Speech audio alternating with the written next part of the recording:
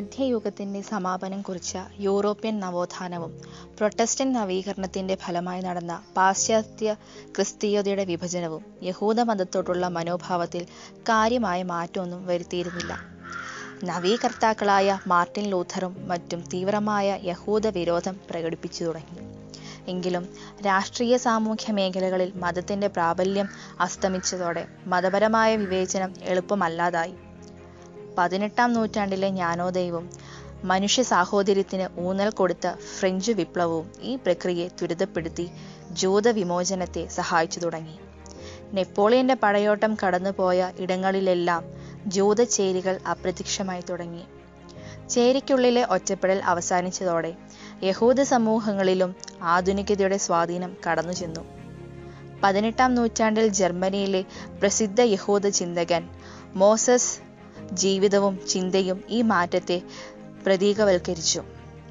യഹൂദർക്കിടയിലെ ഹസ്കല എന്ന ജ്ഞാനോദയ മുന്നേറ്റത്തിന് പതിനെട്ട് പത്തൊമ്പത് നൂറ്റാണ്ടുകളിൽ ഇത് പശ്ചാത്തലമൊരുക്കി.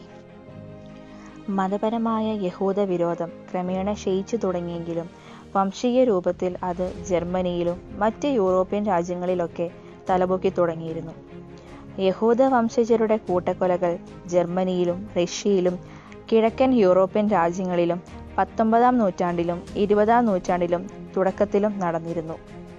ജൂത സംസ്കാരത്തിനും ദേശീയ ലാഭിഷ്യങ്ങൾക്കും വേണ്ടി നിലകൊള്ളുന്ന സിയോണിസ്റ്റ് പ്രസ്ഥാനത്തിന്റെ പിറവിക്ക് ഈ സാഹചര്യങ്ങൾ പത്തൊൻപതാം നൂറ്റാണ്ടിന്റെ അന്ത്യത്തിൽ പ്രചോദനമായി തുടങ്ങി.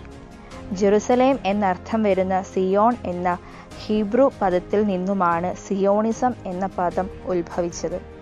വാഗ്ദത്ത ഭൂമിയായി അവകാശപ്പെട്ട പാലസ്തീനിലേക്കുള്ള യഹൂദരുടെ വൻതോതിലുള്ള കുടിയേറ്റത്തെ ഈ പ്രസ്ഥാനം പ്രോത്സാഹിപ്പിച്ചു. ഒന്നാം ലോക മഹായുദ്ധത്തിൽ തുർക്കിയുടെ പരാജയത്തെ തുടർന്ന് ബ്രിട്ടന്റെ നിയന്ത്രണത്തിലായ പാലസ്തീനയിൽ യഹൂദ രാഷ്ട്രം സ്ഥാപിക്കുന്നതിനെ തത്വത്തിൽ അംഗീകരിക്കുന്ന ആയിരത്തി തൊള്ളായിരത്തി പതിനേഴിലെ ബാൾഫോർ പ്രഖ്യാപനം പുറപ്പെടുവിക്കാൻ ബ്രിട്ടീഷ് സർക്കാരിനെ പ്രേരിപ്പിച്ചത് ബ്രിട്ടനിലെ സിയോണിസ്റ്റുകളായിരുന്നു. രണ്ടാം ലോക യുദ്ധത്തിനിടെ ജർമ്മനിയിലെ നാസി ഭരണകൂടം വ്യാപകമായി നടത്തിയ ജൂതഹത്യ യൂറോപ്പിലെ യഹൂദരുടെ അവസ്ഥയിലേക്ക് ലോക ശ്രദ്ധ തിരിച്ചുവിടുകയുണ്ടായി. ആയിരത്തി തൊള്ളായിരത്തി നാൽപ്പത്തി എട്ടിൽ സ്വതന്ത്ര ഇസ്രായേൽ രാഷ്ട്രം ഐക്യരാഷ്ട്രസഭയിലെ ഭൂരിപക്ഷ തീരുമാനത്തിന്റെ അടിസ്ഥാനത്തിൽ നിലവിൽ വന്നു.